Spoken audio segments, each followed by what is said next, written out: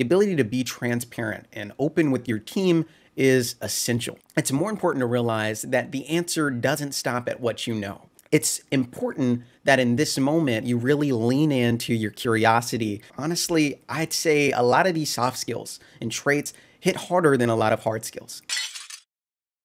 Hey, welcome back to the channel. My name is Jon Green. I'm a senior network engineer, and in this video, I'll be sharing with you what I think are the top three must-have skills as a network engineer. Make sure to hit that like button as it helps the algorithm and subscribe to the channel as I'll be posting network tutorials and helpful tips that you can use to excel in your IT journey. Starting off in the number three spot. And this is more so a trait than it is a skill, and that is honesty. So why is honesty important? First off, it makes you approachable. The ability to be transparent and open with your team is essential. This allows your teammates to meet you where you are, to have insight into what your weaknesses and your strengths are so that they can really support you in a way that benefits the team. This really uh, increases the team's dynamic and your ability to support one another. Moving on to the number two spot, that is being resourceful.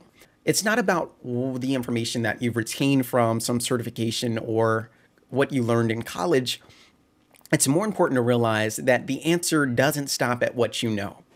It's not likely that you, every day you run into a day zero issue. And what I mean by that is you're discovering an issue that hasn't been seen before for the first time.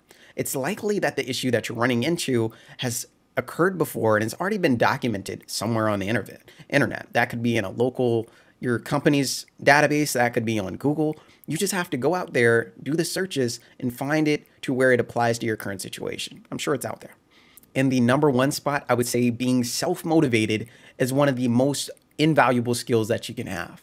The ability to make yourself curious about something, curious to learn and further your, your knowledge of something you didn't know previously is just invaluable.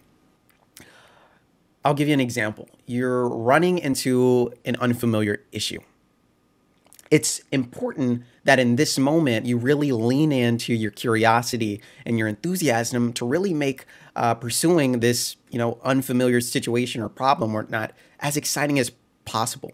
That way, when you're expanding your knowledge, digging in and doing some research on something that you know absolutely nothing about, well, you're focusing on the positive. You're thinking, hey, what can I get out of this rather than, oh my gosh, I don't know any of this. So it's a, a totally different shift and I think a completely incredible skill to have. When it's all said and done, why I think this is all important is because honestly, I'd say a lot of these soft skills and traits hit harder than a lot of hard skills that you can spend years studying for. These are just, you know, essential and they take longer to develop. So getting a jump on that now could put you in a better spot later. All right, well, that is the end of this video. I hope you found this video helpful towards your IT journey. If you did, go ahead and smash that like button and subscribe to the channel and stay tuned for next week's video where I'll be sharing what I wish I knew when I started as a network engineer. As always, thanks for viewing and I'll see you in the next one.